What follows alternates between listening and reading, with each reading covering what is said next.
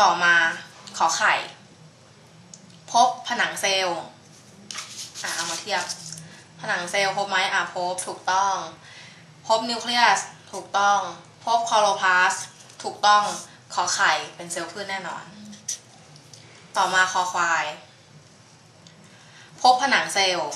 ถูกต้อง พบนิวเคลียสถูกต้อง แต่ไม่พบคลอโรพลาสต์อย่างที่พี่บอก เป็นไปได้ก็คือเซลล์พวกบริเวณปลายล่างอะไรพวกนี้ที่มันไม่ได้สังเคราะห์แสงอ่าอันนี้ก็คอควายจึงเป็นไปได้ที่จะเป็นเซลล์พืชติ๊กถูกเอาไว้ มาดูงองูกัน งองูเนี่ยมาอันแรกเลย เซลล์งองูไม่มีผนังเซลล์เป็นเซลล์พืชได้ไหม ไม่ได้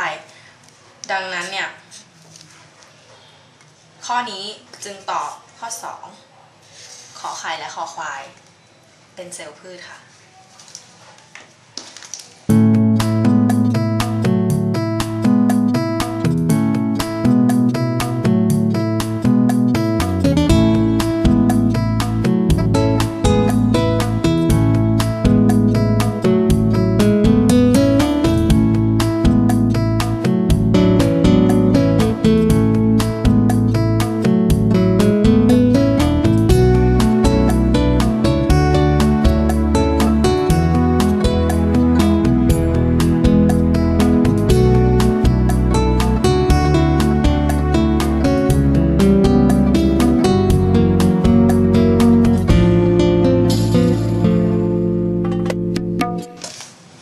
ที่ข้อ 6 นะคะ ข้อ 6 โจทย์เขาถามว่า ปรากฏการใดต่อไปนี้จะเกิดขึ้นกับเซลล์พืชที่แช่ในสารละลายไฮโปโทนิก ข้อ 1 เซลล์เต่ง ข้อ 2 เซลล์แตก ข้อ 3 เซลล์เหี่ยว ข้อ 4 เซลล์เหมือนเดิมไม่เปลี่ยนแปลงอะจากโจทย์มาเราก็ต้องมาวิเคราะห์กัน ส่วนแรกที่ต้องรู้คือเขาบอกว่า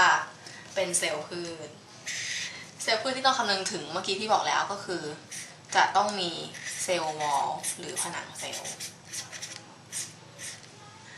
เก็บเอาไว้ก่อน เดี๋ยวต้องใช้ทีหลังในการวิเคราะห์คำตอบ ต่อมานำเซลล์พืชไปแช่ในสารละลาย hypotonic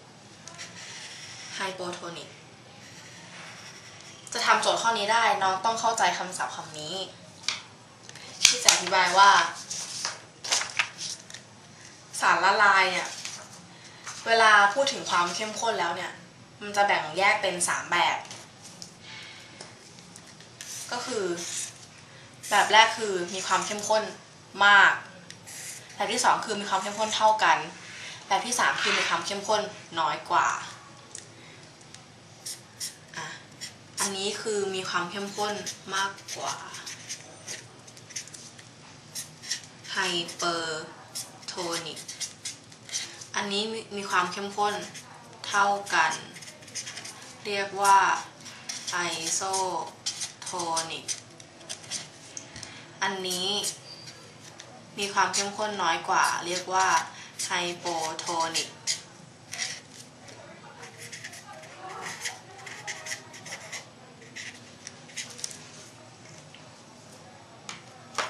อันนี้นะคะแล้วมาคำว่า hyper เนี่ย มันจะแปลว่ามากกว่าอยู่แล้ว iso เนี่ยจะหมายถึงเท่ากัน ส่วนคำว่า hypo เนี่ยจะหมายถึงน้อยกว่าเรามาดูว่าอ้าวแล้วจะเปรียบเทียบยังไงว่าอันไหนเป็น hypertonic อันไหนเป็น hypotonic ก็คือตอนแรกน้องก็ต้องดูว่า น้องมีมีสารอะไรอยู่ใช่ป่ะอย่างเช่นน้องมีสารละลาย สารละลายน้ำตาลกลูโคส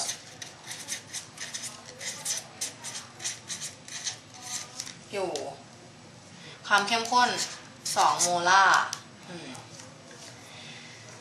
สารละลายที่เป็น hypertonic ต่อสารละลายกลูโคส2โมลาร์ก็คือสารละลายที่มีความเข้มข้นมากกว่า 2 โมลาร์สารละลายที่เป็น isotonic ต่อสารละลายกลูโคส2โมลาร์ก็คือ สารละลายกลูโคส2โมลาร์เท่ากันนั่นเอง อันนี้ก็จะเป็นสารละลายกลูโคสที่มีความเข้มข้นน้อยกว่า 2 โมลาร์ อะ ทีนี้น้องๆเข้าใจโจทย์กันหรือยังว่าโจทย์เขาหมายถึงยังไง ก็คือแสดงว่าเขานำเซลล์พืชเซลล์หนึ่งเนี่ยมาซึ่งภายในเซลล์เซลล์พืชเนี่ยก็ต้องมีความเข้มข้นของสารต่างๆ อยู่ใช่ปะพวกความเข้มข้นของออร์แกเนลหรือสารอาหารที่มันอยู่ในเซลล์ แล้วเขานำเซลล์พืชอะไปแช่ในน้ำน้ำหรือสารละลายที่เป็นไฮโปโทนิก ก็ต้องแปลว่านำไปแช่ในสารละลายที่ ความเข้มข้นน้อยกว่าเซลล์พืชอะสมมุติว่าในเนี้ยเซลล์พืชอะมีความเข้มข้นอยู่ 60เปอร์เซ็นในสารละลายก็ต้องมีความข้นอยู่ 50%หรือ 40%อืมอันนี้ก็คือมี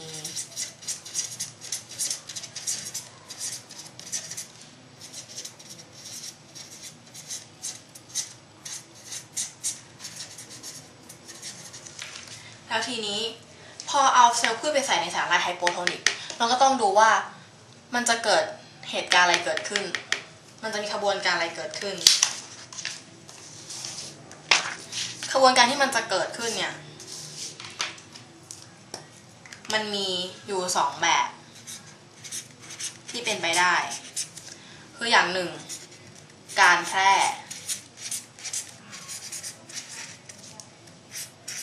diffusion อย่างที่สองการ osmosis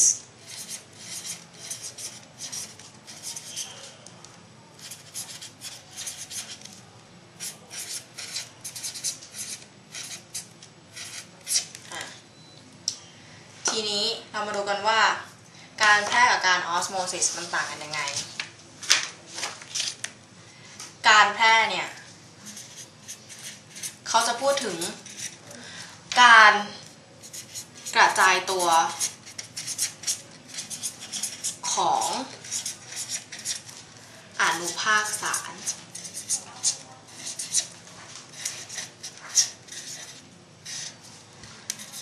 จากความเข้มข้น ของสารมาก ไปสู่ ความเข้มข้นน้อย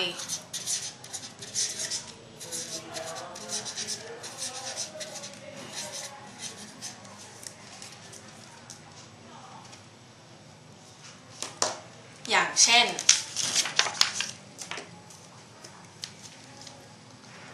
น้องมีน้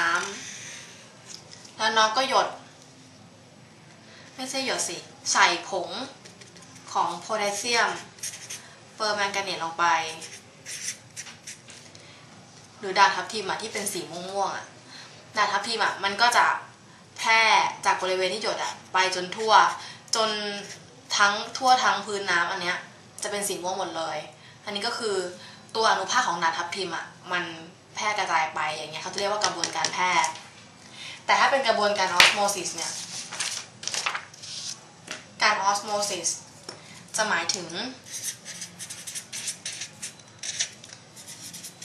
การแพร่กระจาย หรือ